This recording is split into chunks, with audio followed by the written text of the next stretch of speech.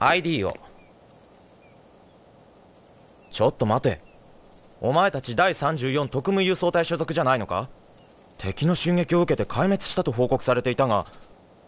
ああいやその運よく気を失ってしまって。それで難を逃れることができまして。そうか。無事で何よりだった。積み荷？レアリエンだよ。あそれは全て破壊されまして。そうか。計画に支障が出なければいいが。もうすぐ検体を使った接続実験が開始される。急いだ方がいい。水良博士を待たせると宇月観察官にどやされるぞ。水良博士なら4階にいるはずだ。